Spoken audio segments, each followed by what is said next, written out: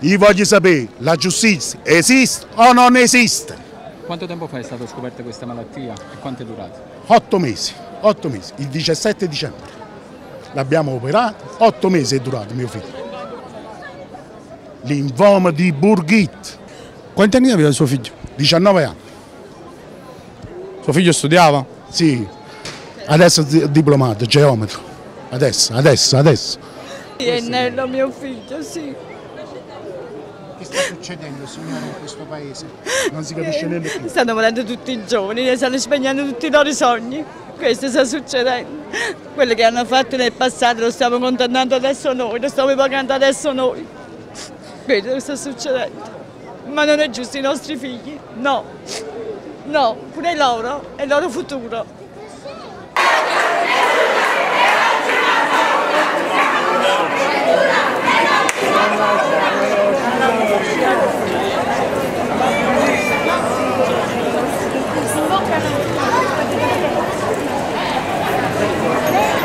Mia figlia è morta il 9 aprile, del 2000 eh, 9 aprile 2014, tre anni col tumore al seno, per colpa di tutti che si sono venduti. E voglio soltanto una cosa, non l'hanno pagato, non l'hanno pagato i genitori.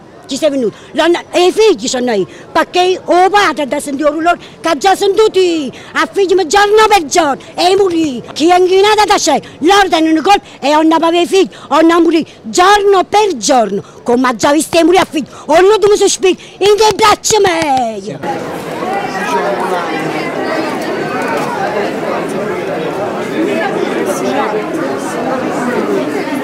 Ad Acera si continua a morire troppo e soprattutto continuano a morire troppi giovani, secondo voi perché?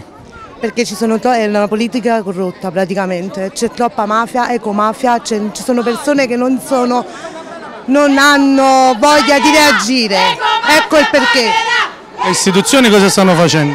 Niente, assolutamente niente, si continua a smaltire immondizia dappertutto, si continua a morire di cancro come al solito e loro seduti in una scrivania senza fare assolutamente niente. Tuo zio ha pagato tantissimo, un prezzo molto alto pagando con la vita. Tu oggi sei, sei in piazza nuovamente, Acerra torna nuovamente in piazza. Qual è il significato della manifestazione di oggi? Allora, il significato della manifestazione è semplice, noi siamo contro l'ecomafia. La stessa ecomafia che continua a uccidere- uccidere nonostante i vari processi, nonostante le varie responsabilità eh, già inflitte a questi personaggi. Il problema è che manca una, una- una legge seria che praticamente tolga da mezzo la prescrizione per i reati ambientali e modifica i delitti che modifica le sanzioni in delitti, perché è inaccettabile che chi ha provocato un disastro ambientale su questo territorio se la possa cavare con la prescrizione. colpa dell'ambiente, dell'inquinamento, nessuno fa nulla per eh, aiutarci. Dobbiamo lottare da soli, infatti siamo per la strada, farci sentire e farci vedere. C'è chi sta continuando a lottare, chi ha lottato ha vinto, chi ha lottato ha perso, dipende, però comunque lottiamo tutti.